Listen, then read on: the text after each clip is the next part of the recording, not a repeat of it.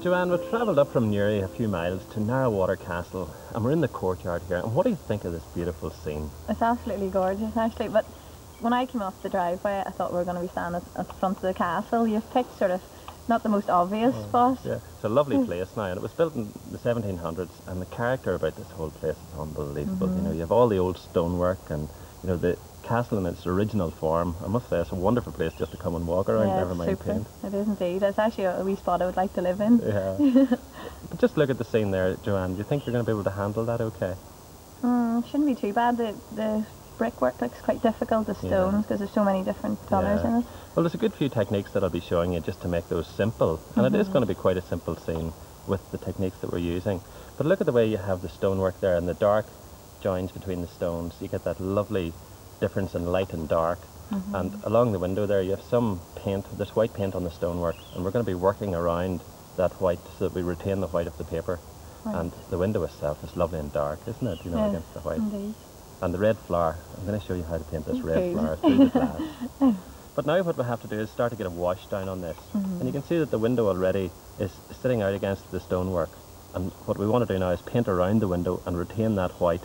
We're going to also have to leave the white of the door because if we put on a yellowish stone colour yes. and then put blue over the top of it, we'll finish up with a green door. Yeah, green colour, right. right. So I want you to take the three quarter inch flat brush and start at the top and just wash on a nice light underlying stone colour. So yes. I'll hand over to you and just okay. bring that right down, paint the whole thing, working around the doors and the window. Right, so, so it's my turn now. Yeah. Get the brush in hand. That's right. So you start at the top. Yeah. And the more lightly that you would lean on the paper, the more the paper will come out of the, the hairs of the brush as well.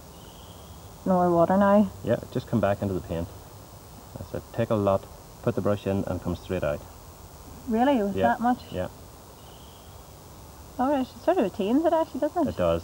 You have a sable uh, mixture in the brush. The, the brush hairs are made out of sable and synthetic and the sable gives great water retention quality so it's mm -hmm. going to hold bags and bags of water. I used to tell you things like this, didn't I, Dermot, when I worked in, in the art shop? Well, that, that, was strange, you know, that you were working in the art shop when I was buying brushes a number of years ago. It was unbelievable. Now, what I'm going to do there, you see those white stones down the side of the door? Yes. You've I went over, over them. that there. So what I'm going to do is just take a tissue and dab that, and oh, see you can get the white oh, back. Oh, great. This is as easy as that, then. Yeah. And that one there, that's, that's okay? Yeah, that's, that's, that's a white one there as well, so we'll just block that one out. Right. Well, that's the initial underlying wash on, and you can see that that's very important because it gives us the underlying colour. So how did you find that, Joanne? It wasn't too bad. Um, with that brush as well, you cover a lot of the area in quite a short time. Yeah, well that's the whole secret, to get it on as quickly as possible. Now we're moving on to the brickwork above the window itself, and you can see that lovely red rustic brick colour. Mm -hmm. And we'll put that on with the number five brush, and that's a mixture of light red with a wee bit of crimson. And you just block those in and leave the light spaces between them. But you can see there's a lot of texture on the brickwork, so we're going to leave little areas like that untouched with the paint. So off you go. Right. Now you need to have quite a steady hand there as well.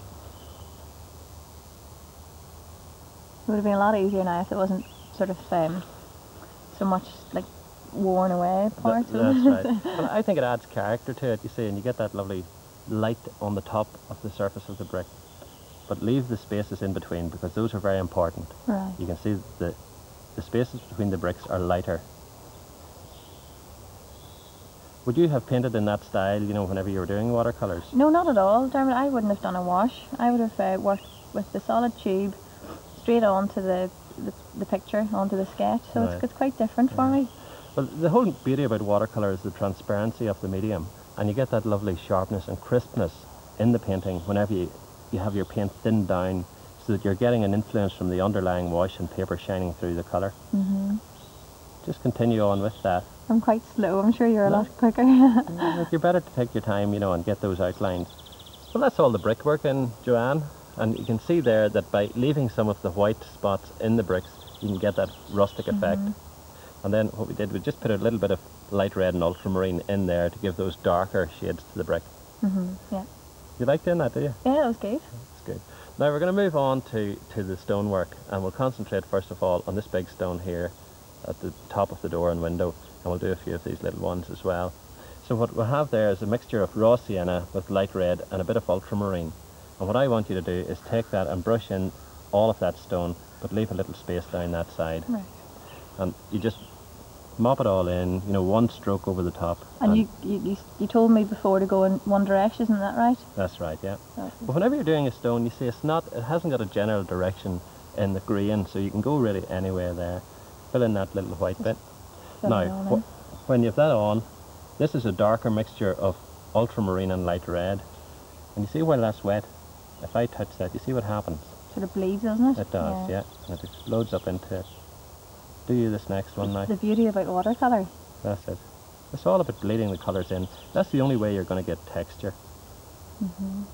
What I need now to, to go again no, it's with okay. that. If you leave a few little white flecks, it doesn't matter because you can see that there are light flashes in the stone as well. And there's another bit. Try that. See what see what you think of it. Down here at the bottom, yeah, mostly along the bottom because that's where you're going to have most of the darkness. That's it. Ah, And you see how it runs into it, yeah, indeed. and it gives you that real textured effect. Now you see the way those stones are darker. It's a darker type of, of granite, and if I give you a darker mix hmm ultramarine and light red in a thicker mix this time. Feed that in to see how much of a difference that makes on the bottom side. Down here. That's it. And do you always just work sort of like this, Dermot? You're working three stones at a time and, until you... Yeah, because if you don't do that, the first one will be dry and then it'll not take the initial wash in. Now, although we haven't sketched in a few stones there, I'm going to put another one there just by laying the brush down like that. Now you can feed into that yeah, as well. looks, that looks great as well, doesn't it? Down at the bottom. Just thicken that up.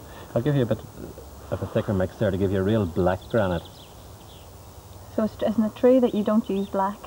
That's right. I never use black never or use white. black. That's it. That's it. Isn't that lovely colour now? That's, yeah, it's gorgeous indeed. And one of the secrets as well is don't have the stones the same shape or size. Mm-hmm. Because if you look at that wall there, there's no way that you have two stones exactly the same. That's right, there's no, it's not geometric at all.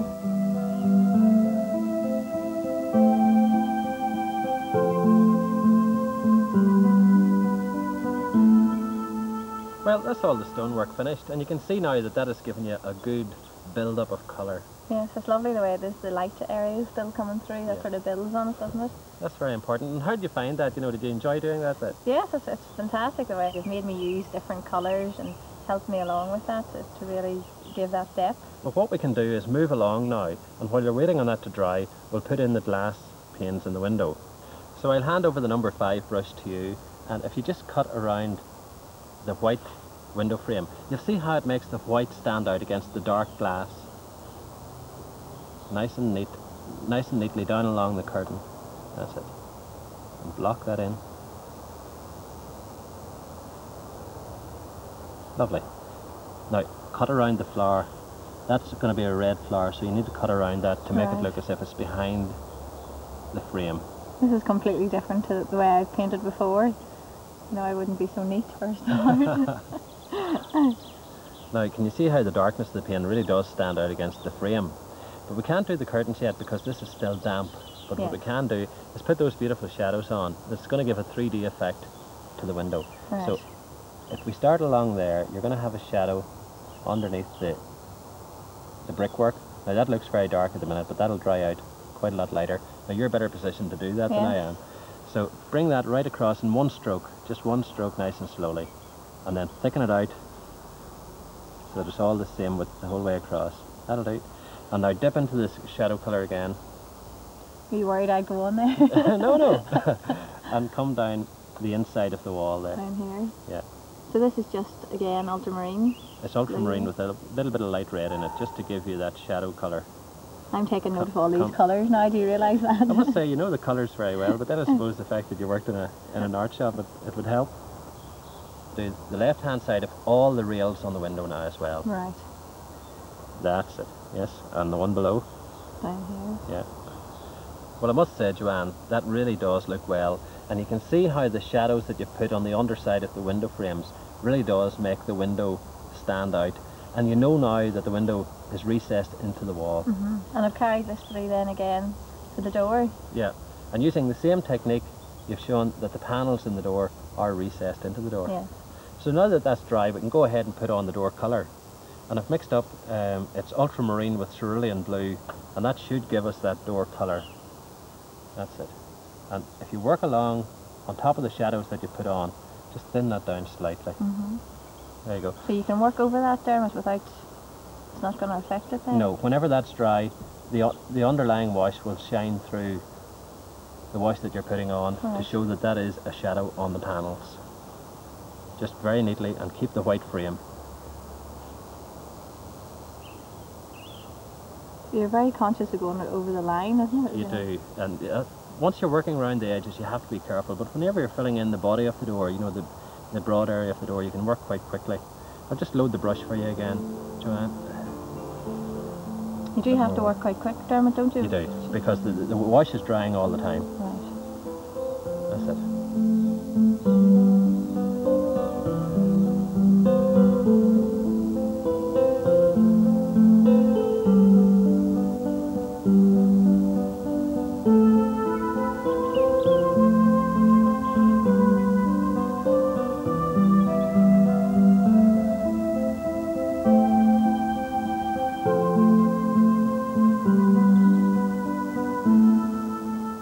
We're going to move on now and put a shadow on this wall because you can see at the present time it looks very flat but I think that a shadow thrown across that window by the wall would give a very dramatic effect. Yes. So let me have that brush. Now with the three quarter inch flat and a mixture of cerulean blue, ultramarine and some crimson hmm we're just going to start at that point and you come right down across the window onto the ground. Now that's the shadow is going to be thrown down at an angle. hmm It comes onto the ground and follows the line of the wall towards us. Now, this is where you have to be really quick and I want you to block in that whole area, not rubbing very hard on the stonework, otherwise, here you go, That looks drastic now. it does, yeah, Over the whole thing? yeah. Keep the, the strokes downward while you're on the stone, Right, I see, yes. yes. Go back into the paint again so that you're not rubbing too hard on it. Keep them downward till you come to the ground and then And bring then them across. Exactly, yeah, in the flat motion across. That's it. Keep going into the paint. Back into the paint again. And get some water into that. Yeah. You see, the reason you have to be quick is you're going to get a hard line if you don't work quickly along that. Yes. Uh-huh. But you're going very well there. And pull that across right to the wall, dipping in again. I'll mix up more paint for you whenever you're doing that. Oops.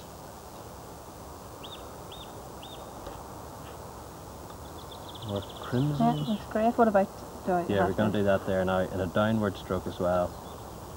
Is it, it's funny you say that about transpar- transparency, yes, because it's sort of coming through. It does, yeah. The underlying wash should shine through, and then you can thicken up some of the effects on the wall. Mm-hmm. There you go.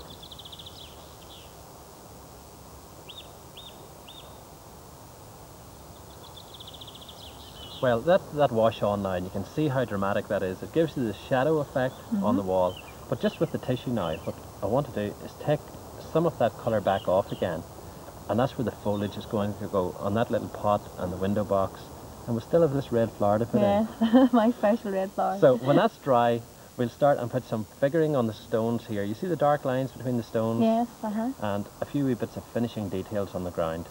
Fantastic. And whenever we've that done, all you have to do is sign it, Joanne. Oh, well now it's fantastic and I can't believe that that's my first watercolour and it's just worked out so well. It looks fabulous. Well, you make it on with the thing. Thank you.